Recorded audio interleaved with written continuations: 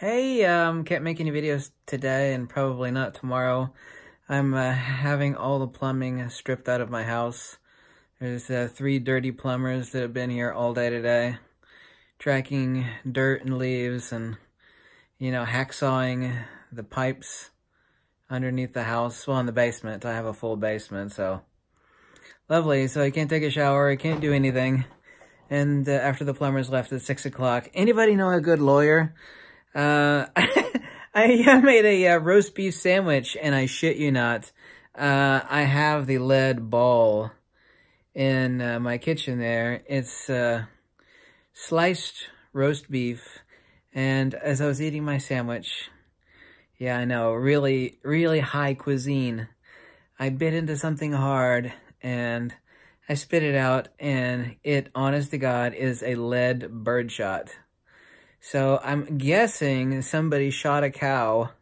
That's not how they slaughter cows. I know how they slaughter cows, okay?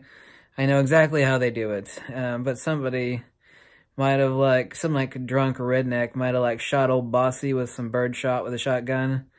And I was like, I was like, I spit out this lead ball and I was looking, it's like, oh, surely to God, that is not like lead birdshot that I just had in my mouth. God knows, uh, I'm, you know, I, I could have eaten, I could have eaten a couple more of them, so I might have lead in me. Um, yeah, that's wonderful.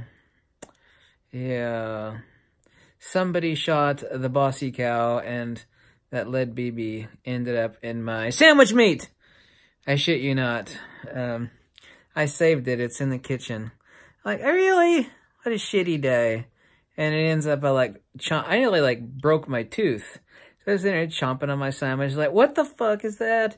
Oh, it's yeah. There's there's a little lead ball in my sandwich meat. Yay, yay! Don't they have metal detectors in uh, meat processing plants? Ah, uh, uh. So I'm going to go take a shower. Now, oh, wait a minute. I have no water. I guess I'm not going to go take a shower. I'll catch you tomorrow evening. Ah, fuck.